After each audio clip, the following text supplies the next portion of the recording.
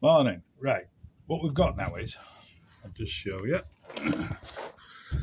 Uh, right. Right.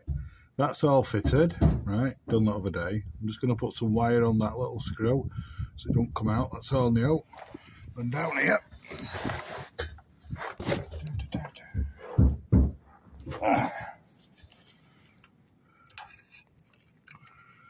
New bushing in there. All bolted back up.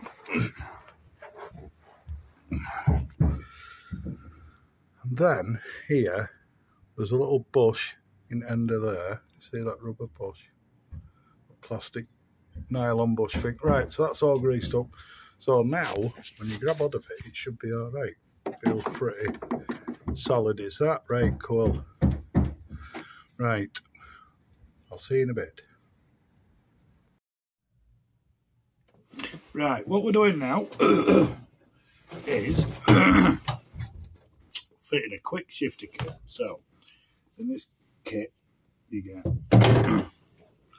one of these spacers, some longer bolts, so it's, uh, you know, thickness of thing. Then you get this. Right. So this, this piece, you slide that down the original rod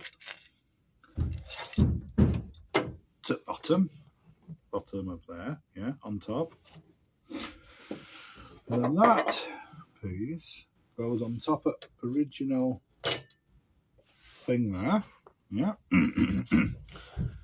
and this piece, your, your boot, your rubber boot thing, there, yeah, that goes on top, just normal, like that.